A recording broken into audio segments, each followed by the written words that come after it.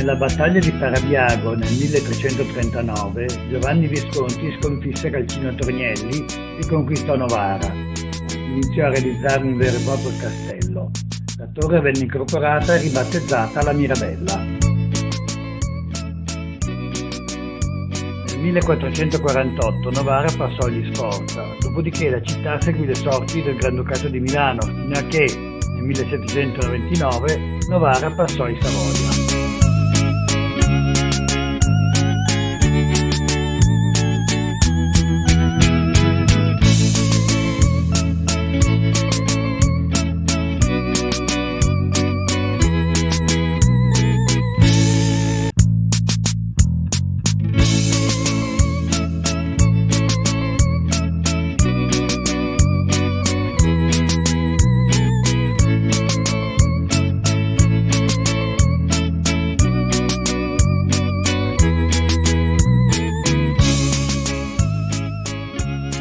Lavori si interruppero per mancanza di fondi nel 1479 quando il progetto era stato assai avanzato, ma non compiuto.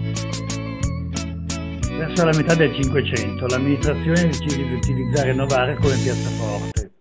Dotò di bastioni la città, costruendo una struttura bellica molto più estesa ed articolata.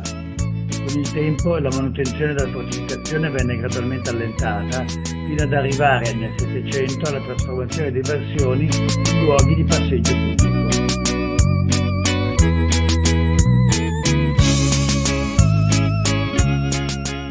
periodo napoleonico il castello divenne un carcere. Ciò comportò pesanti manomissioni alle strutture medievali esistenti. L'edificio ospitò il carcere per 170 anni. Tra i vari detenuti è da ricordare Claretta Petacci, amante di Mussolini. A metà dell'Ottocento fu abbattuta buona parte della cinta dei bastioni della città e si realizzarono sui tre lati gli eleganti giardini pubblici chiamati Allea. Poco dopo si riconobbe il valore storico dell'edificio e si avanzarono le prime proposte di recupero o di restauro, destinando il castello a sede dell'Istituto Professionale Omar, a sede del municipio, Parco della Rimembranza, Palazzo delle Poste, Palazzo Pubblico, Prefettura. Nessuno di questi progetti vide vita e il castello rimase per decenni sede delle regie carceri mandamentali. Nel 1973 le prigioni si trasferirono al Bicocca e il castello passò all'amministrazione municipale. Negli anni Ottanta si abbatterono edifici e strutture ottocentesche e novecentesche sgombrando il cortile. Il restauro e la ricostruzione furono curati da Paolo Germani.